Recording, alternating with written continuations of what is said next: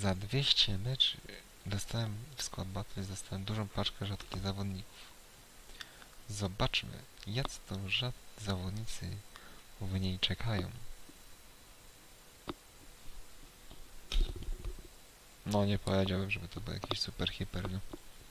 Co najwyżej to może Bale, nie? A jeszcze to są niewymienialne, serio.